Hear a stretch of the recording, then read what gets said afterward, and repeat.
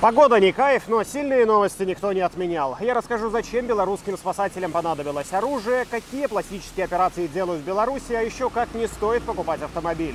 Я заберу вас всего одну минуту, расскажу три сильные новости. Это рубрика «Короче». Поехали!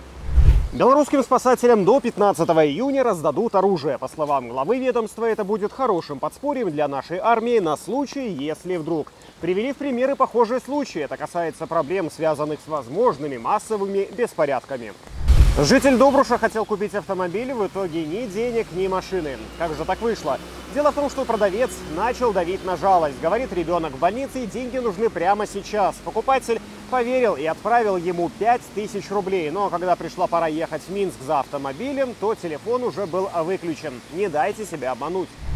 Какие пластические операции чаще всего делают в Беларуси? На первом месте идет омоложение лица. Далее липосакция, коррекция груди и пластика живота. Что интересно, примерно 5-10% всех посетителей пластических хирургов – это мужчины.